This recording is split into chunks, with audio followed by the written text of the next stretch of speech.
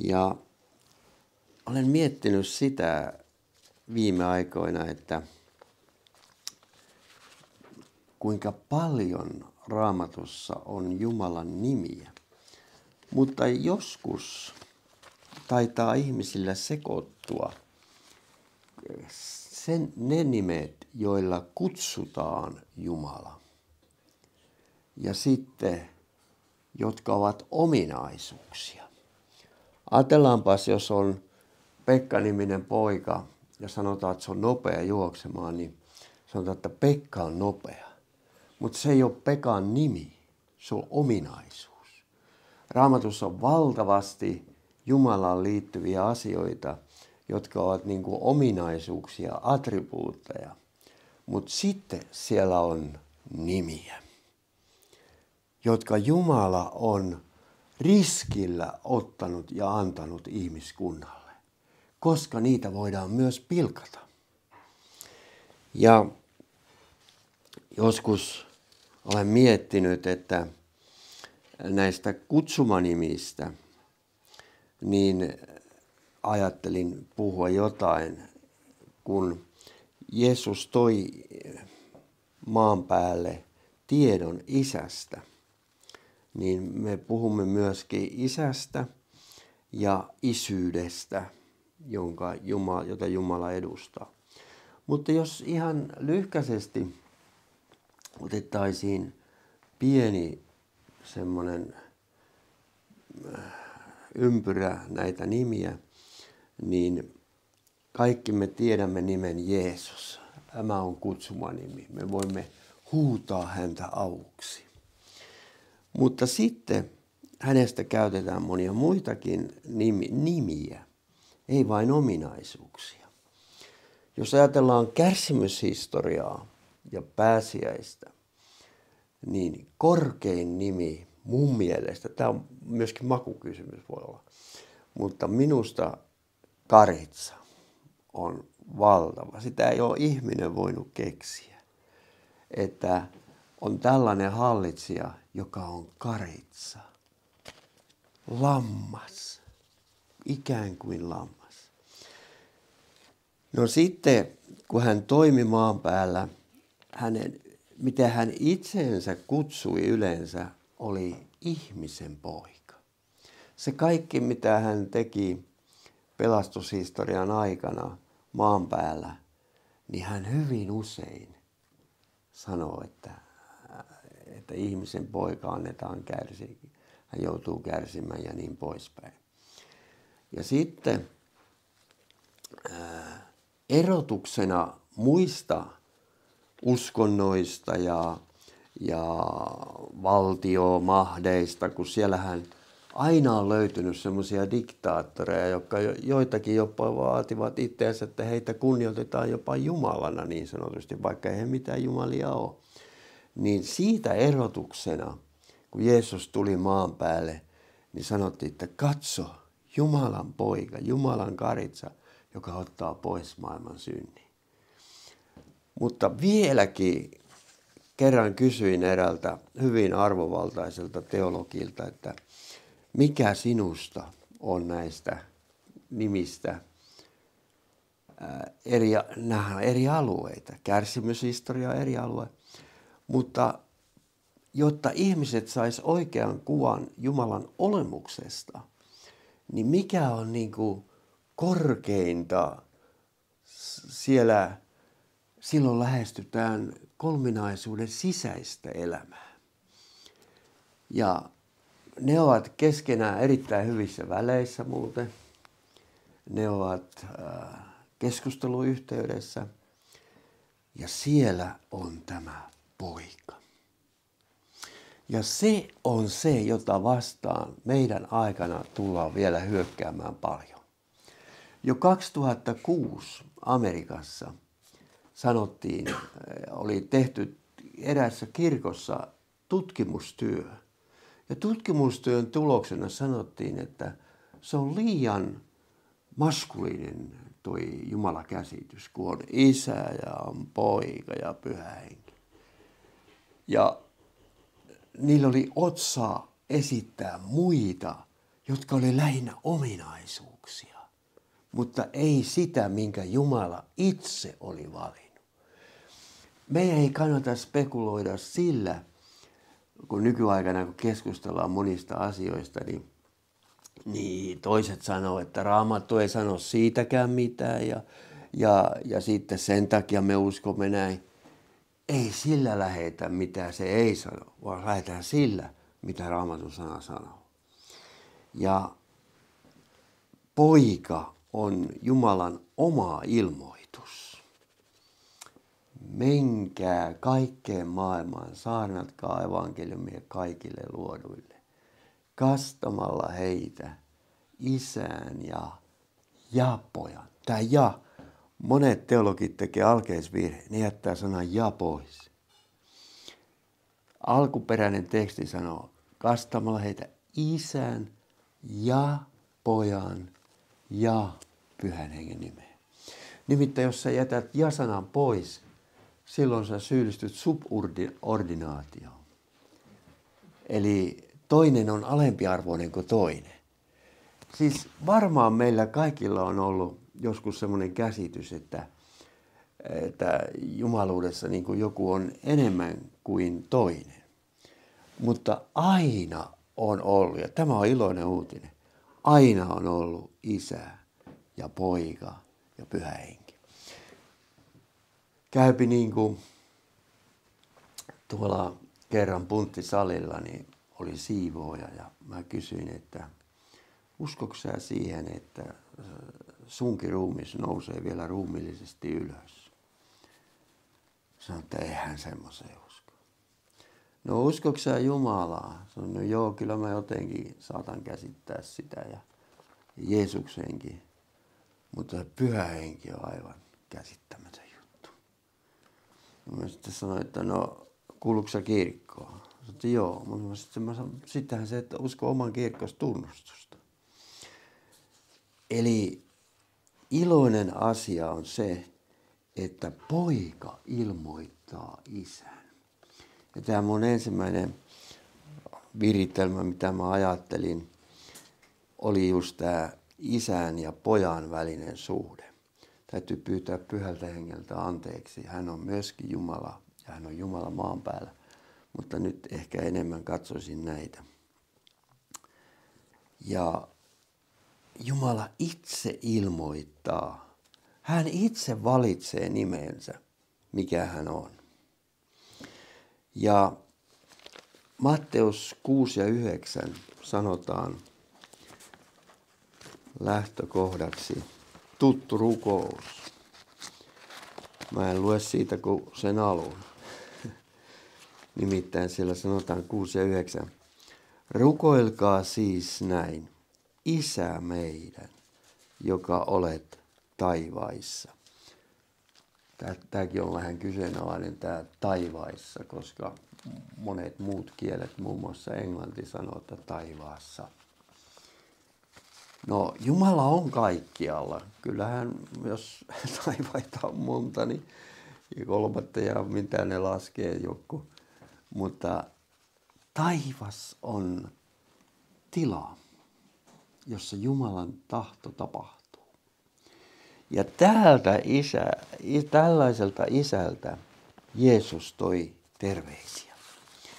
Ja hän sanoo, että minkälainen isä on Jumalan isyys. Ja Jumalan isyys Jeesuksen mukaan on todellisempaa kuin inhimillinen isyys. On hieno asia, että maan päällä on, on tuota,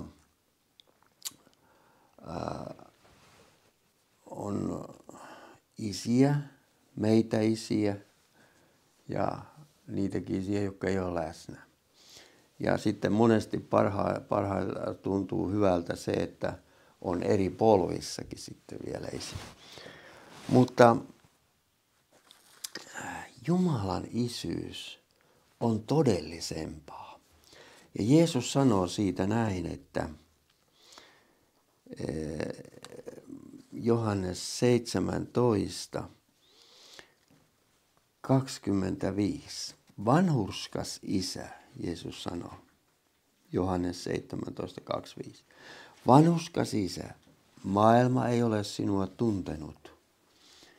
Eikä muuten maailma voi tunteakaan. Se tekee omia jumalakuvia. Tai ihminen, joka on oppimattoman paikalla, hänkin tekee omia jumalakuvia. Mutta minä tunnen sinut. Ja nämä ovat tulleet tuntemaan, että sinä olet minut lähettänyt.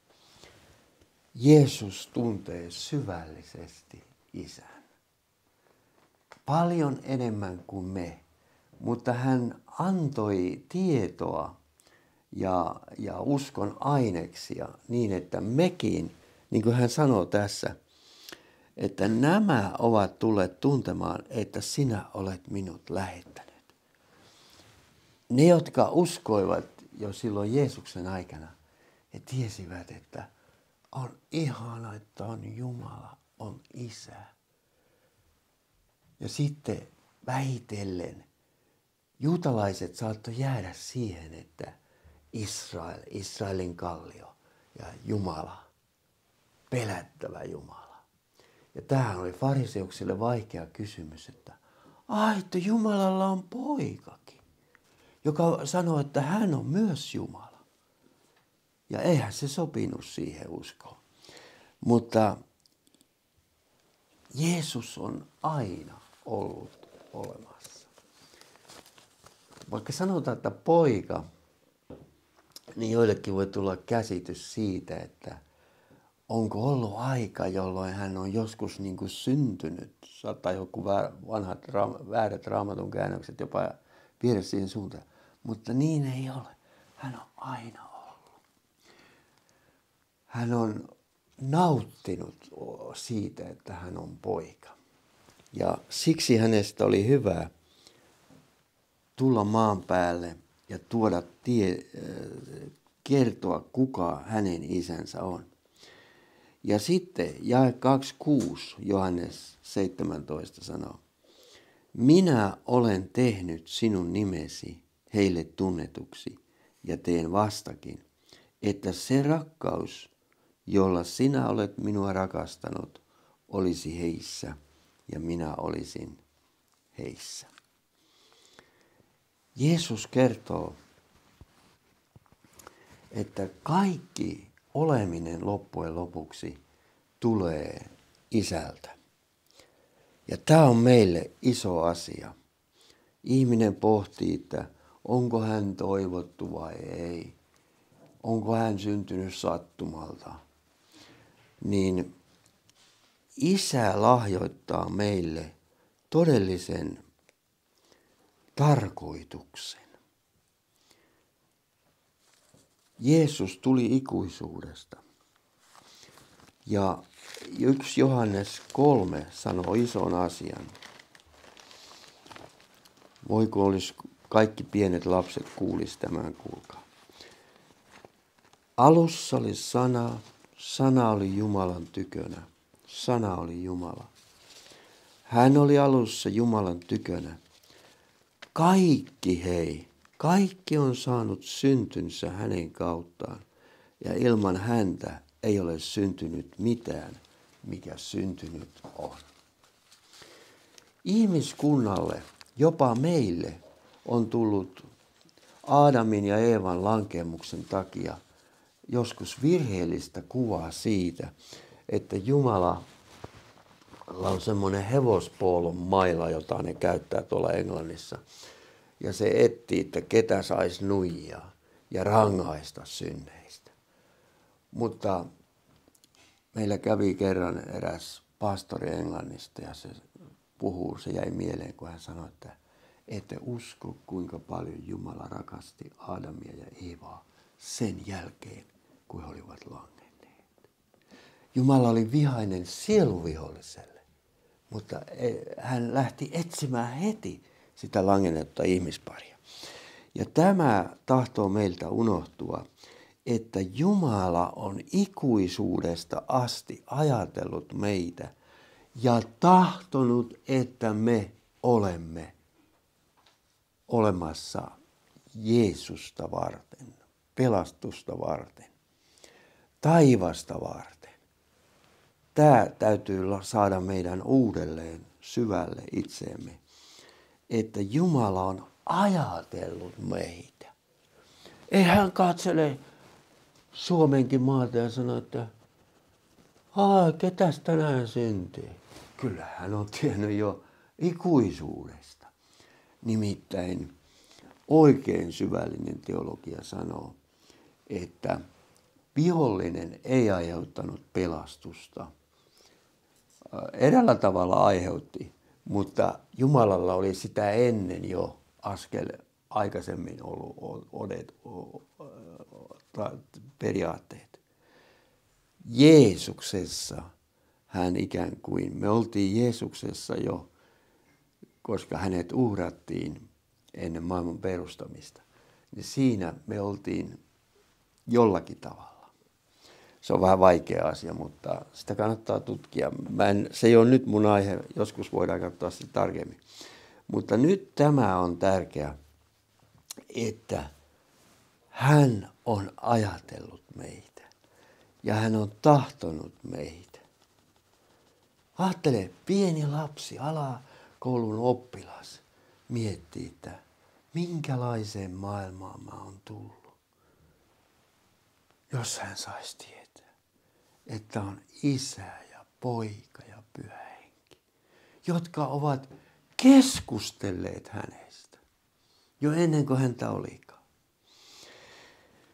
Lisäksi Jeesus sanoo Johannes 14, että eihän Jumala vaan yleensä ole ajatellut meitä ja ajatellut, että annetaan niiden selviytyä niin kuin ne selviytyy. Hän on sanonut, me olen tullut, että teillä olisi koti. Ja mitä tämän päivän ihminen tarvitsee muuta kuin todellista kotia. Minusta on ihana, kun me tämän äsken mainitun englantilaisen saarnaajan kanssa kuljetaan tuolla maailmalla ja mä kysyin, että jäädäänkö tänne kokouspaikkakunnalle yöksi vai ei. Sanoin, että ei, kun lähdetään kotiin mänttää. sinä olet sitä varten, että sinä teet ihmisille hengellisiä koteja. Niistä on suuri puute. Paljon on ristillisyydessäkin palvelijoita, jotka lyövät toisiansa. Ja saavat, haluavat niin otet, omistaa, omistaa, että saisivat lyödä. Paha palvelija sanoo mielessään, minun herrani viipyy. Ei tässä mitään hätää. Mäpäs näytän taivaan merkit, kuka täällä hallitsee ja kuka ei hallitse. Mutta mennään siihen kotiin. Johannes 14. Älköön teidän sydämenne olko murheellinen. Uskokaa Jumalaan ja uskokaa minuun. Minun isäni kodissa on monta asuin sijaa. Jos ei niin olisi, sanoisinko minä teille, että minä menen valmistamaan teille sijaa. Ja vaikka minä menen valmistamaan teille sijaa, tulen minä takaisin ja otan teidät tyköni, että tekin olisitte siellä, missä minä olen.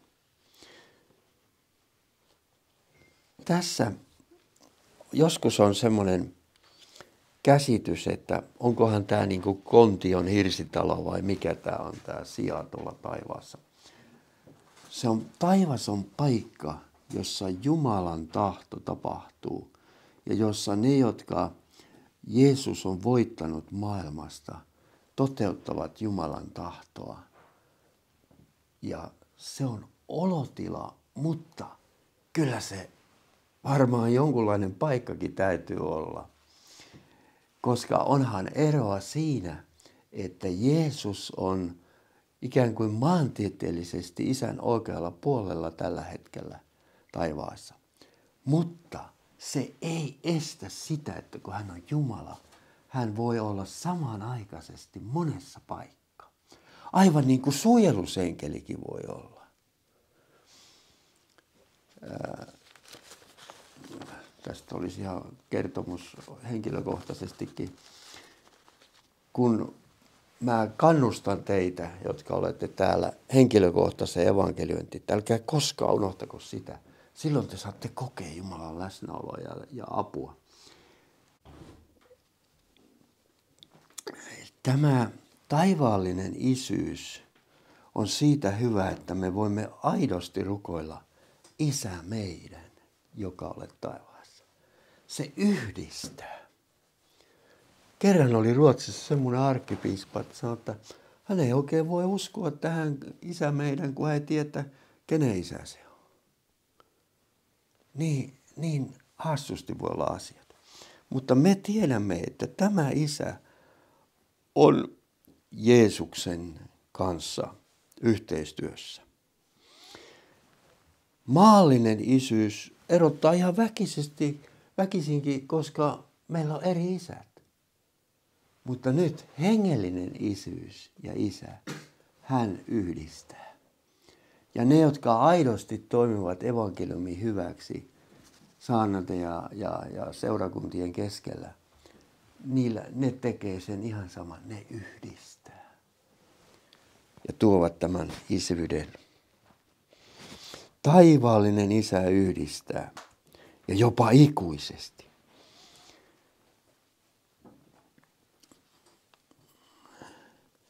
Ja tämä onkin siitä erikoista, että, että kun me olemme saaneet armon Jumalalta, niin se armo vie meidät isän luo, se vie meidät turvaan, se vie meidät kotiin ja, ja kaikki, kaikki se, mitä Jumala antaa, palaa Jumalan tykö. Siinä on yksi hengellinen testi. Mitä olet saanut Herralta, se käy sinussa, se ilahduttaa sinut, mutta se tuodaan kiitoksena hänelle takaisin ikään kuin.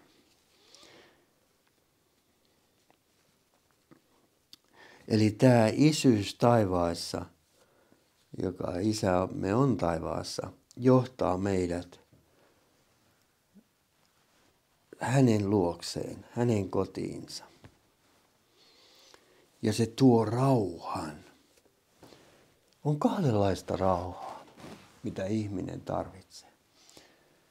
Ensinnäkin Raamattu puhuu, että meillä on rauha Jumalan kanssa. Se on esimerkiksi opetuskirjeissä. Ollaan saatu synnit anteeksi.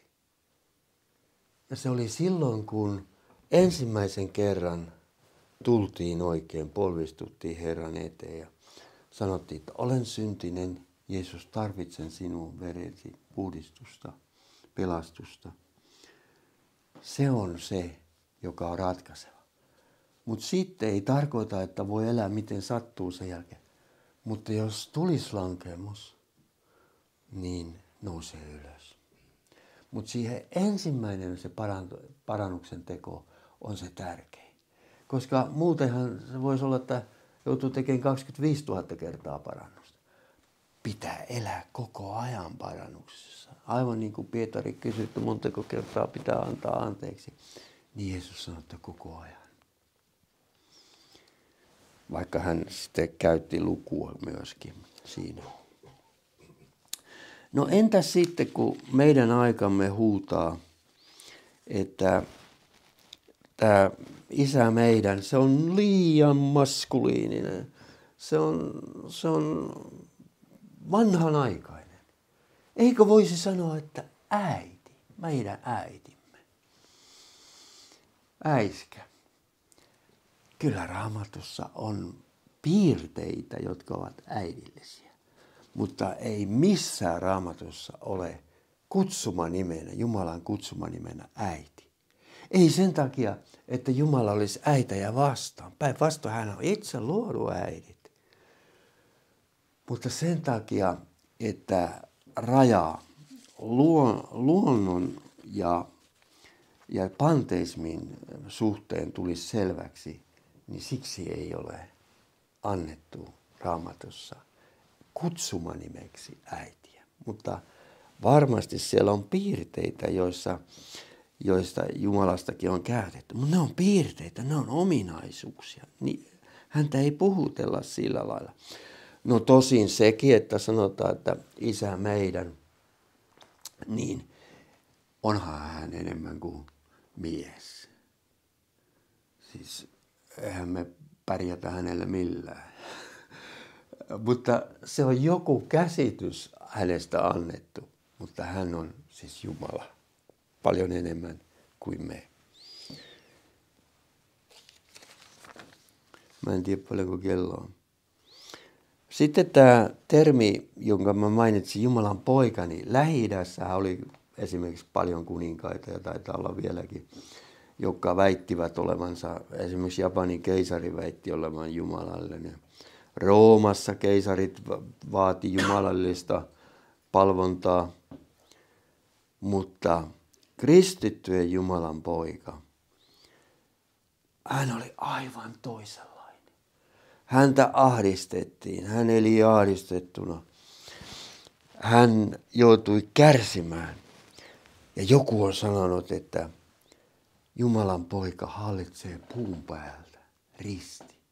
Risti on sarana kohta. Vanhan ja uuden välillä. Tiedättekö, että on tänä päivänä kristittyjä, jotka toivovat, että voi kun olisi vanhan liiton aika, hienot temppelit ja vesi, vedellä valettu alttari, niin siihen lankeaisi tuli ja se syttyi. Kyllä tuli syttyä tänäkin päivänä, mutta se on meidän sydämissämme. Pyhä henki haluaa sen tulen sytyttää. Hän oli aivan erilainen tämä Jumalan poika kuin mitä nämä maalliset hallitsijat olivat. Hän oli uskollinen poikana. Ajattele siis, Jeesus kasvoi eh, poikana olemiseen. Hän kasvoi siihen. Hän oli kaikessa kuulijana. Hän teki kaiken niin kuin piti. Ja tästähän on sitten seuraa se, että on ainoastaan yksi poika, joka todella tuntee isän. Ja hän on samankaltainen isän kanssa ja hänellä on yhteys Jumalan kanssa, täydellinen yhteys. Pojan tahto on yhtä kuin isän tahto. Johannes 6.4.4 sanoo näin. Ja sitten on erikoista, että jokin maan päällä voi tuoda uutta iäisyyttä. Kun mä ajateltu, että iäisyys on iäisyys, ei siihen voi lisätä mitään. Ja monilla on semmoinen virheellinen käsitys, että, että aika alkoi siitä, kun Jumala loi. Hän, hän, se oli jo aikaisemmin päätetty ikuisuudessa se, että maapallo luoda. Ketä varten maapallo luotiin? Ketä varten ihmiset luotiin? Jeesusta varten, Jumalan poika varten. Ja tosiaan yksi ainoa poika toteutti Jumalan tahdon maan päällä. Siinä mielessä voidaan sanoa, että taivas tuli maan päälle. Taivas tuli maan päälle. Se ei ollut koskaan aikaisemmin ollut. Ja se muutti iäisyyden. Ja niin sitten tuli ilo. Poika toi isälle ilon ja se onkin sitten iltapäivän aihe muun muassa. Rukoillaan. Kiitos taivaan isä, että ajattelit meitä jo ennen kuin me olimme. Ja me siunaamme Habaankin. Sinä olet ajatellut Habaa ennemminkin kuin koskaan kukaan tiesi mitä hänestä. Siunaa häntä. Ja sä olet ajatellut Akselia ennen kuin edes maapallo oli luotu. Tämähän tuo meille suunnattoman turvallisuuden. Ja sinä ajattelit Petriä, Sinikkaa ja minua. Ja me lapsena ihmettelimme, että mikä tämä elämä on.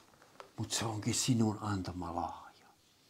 Ja tarkoitus on, että me uskomme sinun, toteutamme sinun tahtoa maan päällä ja tuomme sen ikään kuin taivaan kotiin takaisin ja saamme iloita iäti sinun kanssasi näistä suurista asioista.